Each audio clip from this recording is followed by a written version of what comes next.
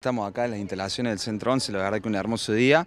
Estamos en lo que es el, segundo encuentro de deportes adaptados que organizamos, bueno, fue un proyecto ganador del presupuesto participativo joven y estamos trabajando articuladamente con Olimpiadas Especiales de la Universidad Nacional de Río Cuarto, Deportes Río Cuarto y bueno, deportes adaptados también de la municipalidad.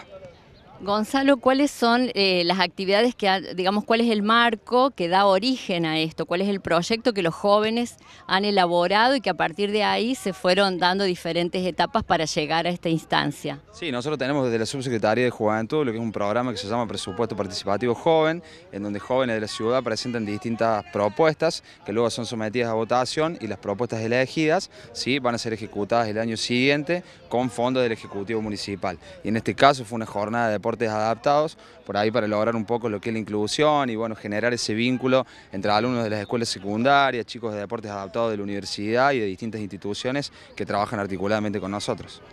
En este caso fue algún grupo de un colegio, me decías, de una escuela secundaria de nivel medio.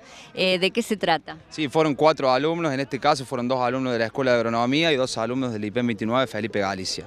Ellos presentaron esta instancia y fue aprobada en el presupuesto participativo, ¿así es? Sí, ellos presentaron el proyecto, bueno, fue aprobado por los equipos de viabilidad técnica, fue sometido a votación y fue uno de los proyectos más ganadores con 900 votos y obviamente ellos están participando en todo lo que fue la ejecución y el monitoreo de, este proyecto, así que la verdad estamos muy contentos por el trabajo, obviamente el apoyo y la articulación con los chicos que están muy interesados en participar.